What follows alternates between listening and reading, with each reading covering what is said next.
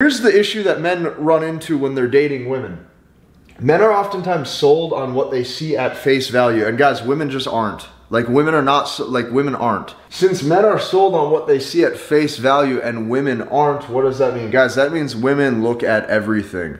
They're looking at your haircut, they're looking at your shoes, they're looking at how your vocal tone sounds, they're looking at how you how you groomed your beard that day. They're looking at uh, what type of clothes you wear. They're looking at how you communicate with the other men in that social group. They're looking at how you communicate with the other women. They're looking at how you communicate with your mom, your dad. Doesn't matter. Women look at everything. They look at how driven you are, how ambitious you are. They look at the person as a whole. They look at the personality. Men are sold at what they see at face value, and women just aren't.